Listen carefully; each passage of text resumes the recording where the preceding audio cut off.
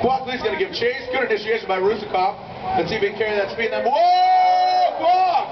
Quackley, way too aggressive.